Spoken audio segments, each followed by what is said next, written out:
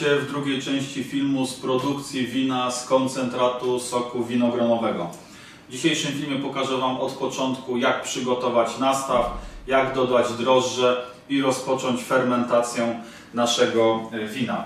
Wszystko to co Wam pokażę jest zgodne z, in z instrukcją. E, Będziemy tą instrukcję przerabiać krok, krok po kroku, bez żadnych udziwnień. E, Zatem przystępujemy. No, to, co musicie sobie przygotować, żeby rozpocząć fermentację, to jest około 20 litrów e, dobrej jak, jakościowo wody. Woda ma ogromny wpływ na finalny smak wina, dlatego powinna być jak najlepsza. E, oczywiście fermentator, cukromierz będzie potrzebny i coś do umycia i zdezynfekowania fermentatora. Zatem przystępujemy do dzieła. Zacznę od umycia fermentatora.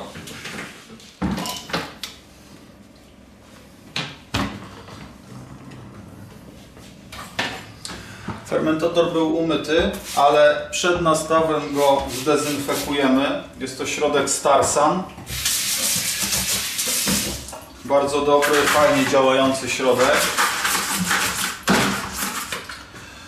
Wytwarza bardzo dużo piany i to właśnie ta piana ma właściwości dezynfekujące dla powierzchni, z którymi się styka.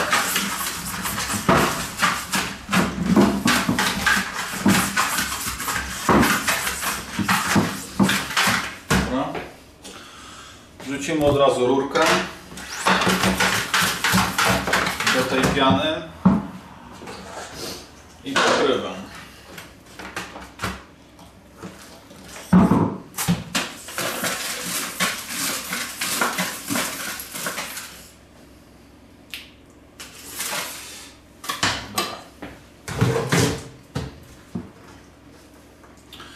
Damy tej pianie jakieś 3-4 minuty.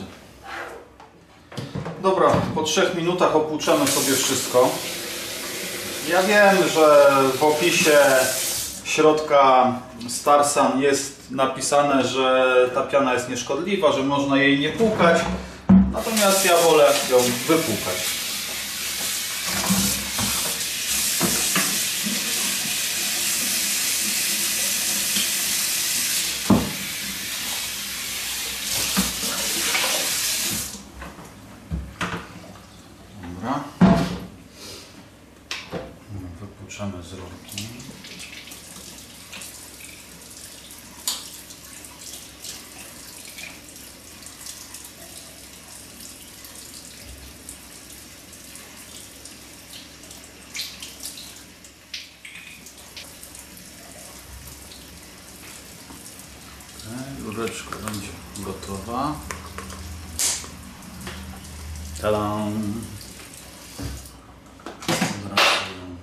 Umieścimy w.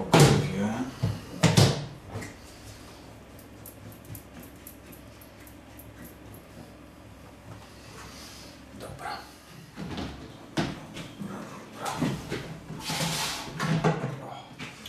Drożdże powinniśmy dodać do nastawu o temperaturze 20-25 stopni. Dlatego część wody od razu naleję do czajnika i zagotuję.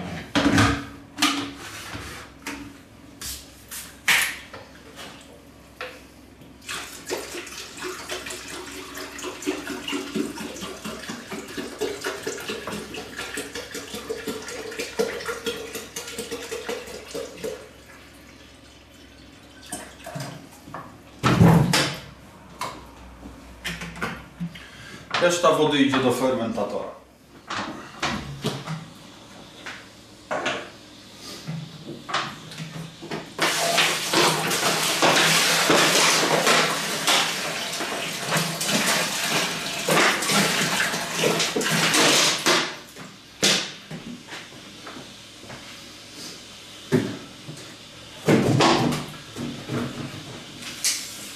Teraz przelejemy całe 5 litrów skoncentrowanego soku winogronowego.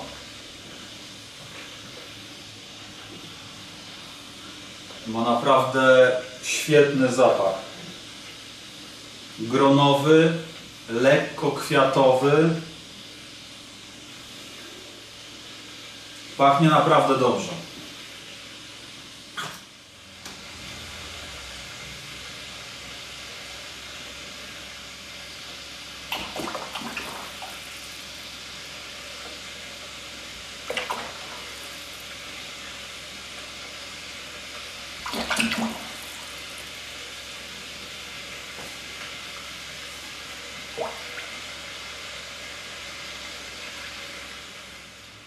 Gorącą wodę z czajnika wlejemy najpierw do pojemnika i wypłuczemy resztki koncentratu soku winogronowego, który zalega nam jeszcze.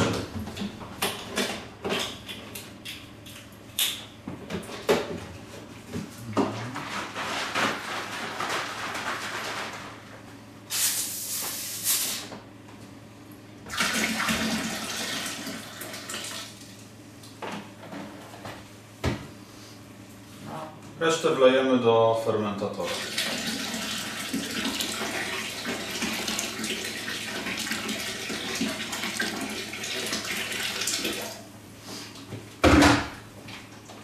I uzupełniamy dalej wodą.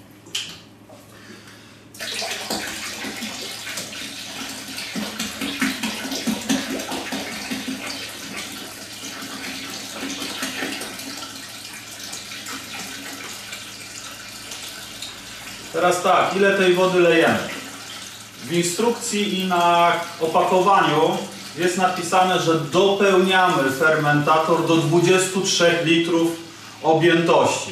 Czyli 5 litrów y, soku winogronowego z zestawu i 18 litrów wody powinniśmy dodać. Natomiast w instrukcji producent zostawia nam pewną furtkę. Mówi tak, dopełnij fermentator do 23 litrów wodą, natomiast jeżeli chcesz, żeby Twoje wino miało pełniejszy bukiet, bardziej intensywny smak, e, dolej tylko do 20 litrów. I tak też zrobimy.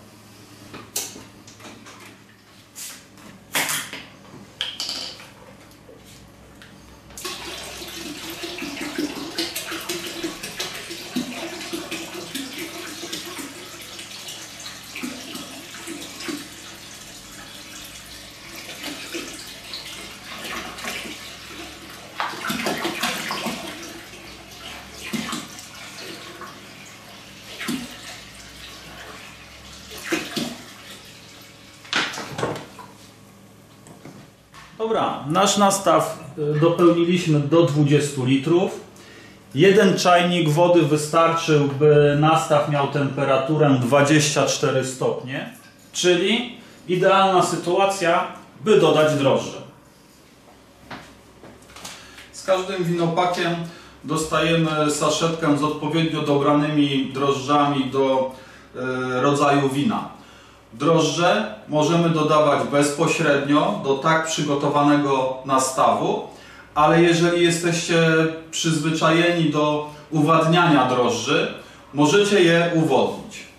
Ja natomiast wiem, że drożdże są zawsze świeże w zestawie i bez uwadniania zaczną pracować, nawet jak bezpośrednio je wsypuję do nastawu.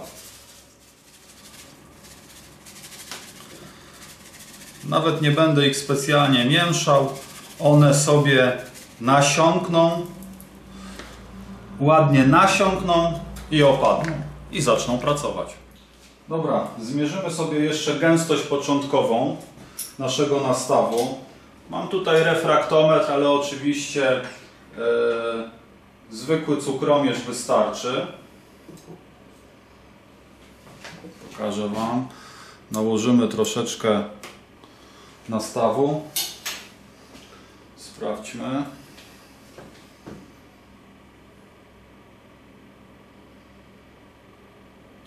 Mamy 20 BLG